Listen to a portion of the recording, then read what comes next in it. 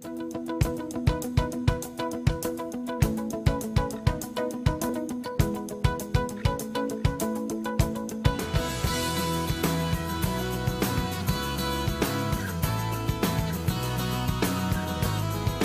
have so much fun in the medical assisting program.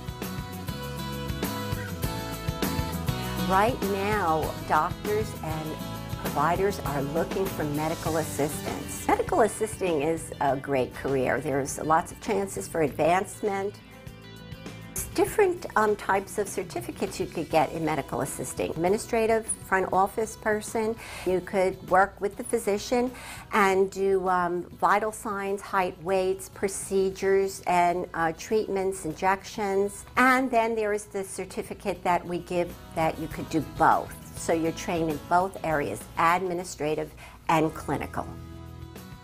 Also, you could branch out perhaps work in a hospital, in laboratories, uh, maybe stepping up to the LVN program, licensed vocational nurses or registered nurses, and then even going as far up as a nurse practitioner. But this is a good first step. You get a lot of good experience in different areas of the medical profession.